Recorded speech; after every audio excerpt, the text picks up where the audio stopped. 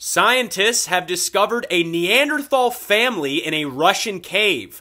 Now they're trying to figure out how the Baldwin brothers got there.